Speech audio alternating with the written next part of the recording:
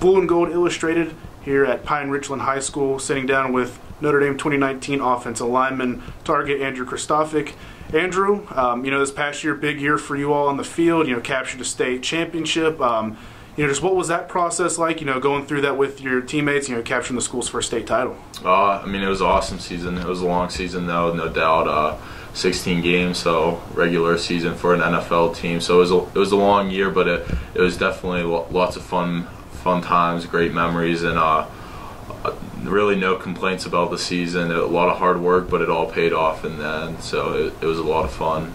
Uh, beat the uh, defending state titles going into that game. Uh, they had beaten Pine Richland a few years ago in a championship game. Um, you know, so what was that like? You know, being uh, being St. Joe's Prep.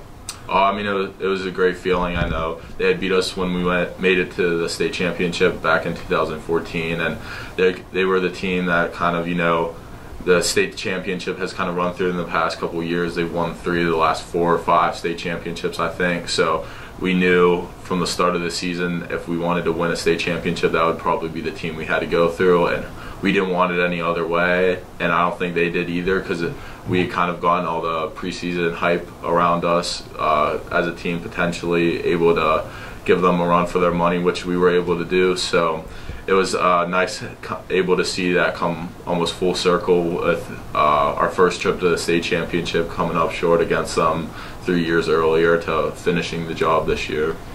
And you know, obviously, you're getting a lot of recognition as an offensive lineman, but you know, you started your career as a defensive lineman. Um, you know, now that you've kind of made that transition to being a really talented offensive lineman, you know, do you kind of see yourself strictly as an offensive lineman now, or do you kind of view yourself as a guy that's a you know two way player and can make a big impact on both sides of the wall? Uh, yeah, definitely. I mean, growing up all through youth league, middle school, and everything, I've always played. I always had played uh, quarterback and tight end, even and kind of some wide receiver, along with uh, defensive line. So uh, ninth grade year, about halfway through, is whenever I got switched to offensive line, and it's kind of not necessarily something I was that happy about, but uh, um, it's what our team needed, so I was I was willing to do it, and obviously it's worked out pretty well from there. And but I, yeah, definitely, I think. Uh, offense and defensively is I can affect the game both sides of the ball. Uh, defensive line still a lot of fun to play. I mean, as much fun as it is playing offense, knowing where the ball is going, kind of being able, able to play with kind of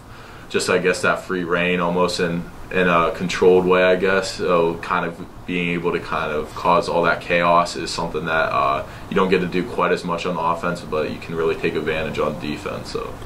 And you know, your dad played at Pitt as a as an offensive lineman. You know, how how's his kind of background? At offensive line, you know, helped you with that kind of transition to offensive line, you know, kind of and helped you, uh, you know, develop into the player you are?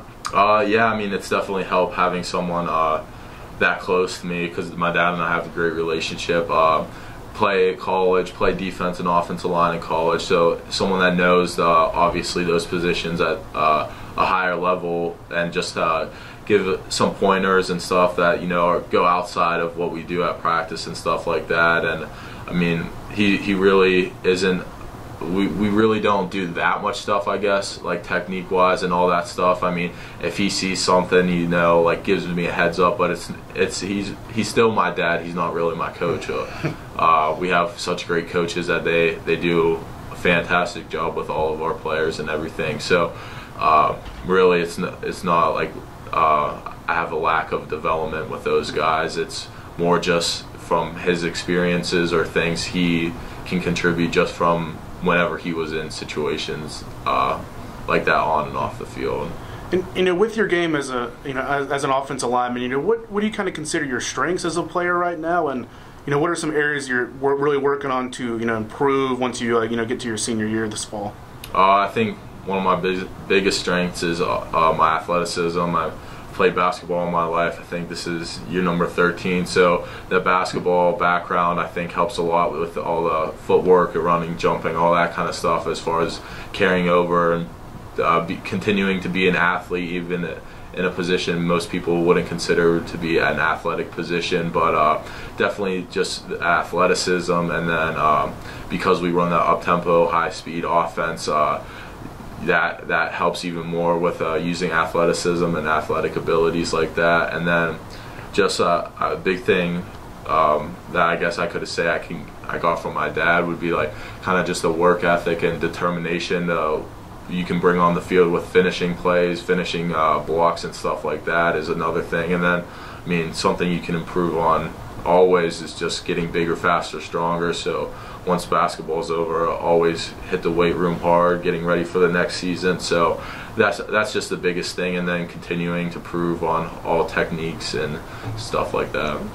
And you guys have some seniors, you know, that are that are going to graduate and move on to the next level. So, you know, going into next year, you know, you're a junior now, but you know, you'll make that transition to being a senior. Do you see an opportunity to, you know, really be a leader for this team next year and you know, really take off in that department?